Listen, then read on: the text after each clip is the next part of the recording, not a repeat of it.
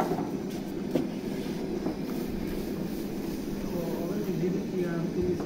you.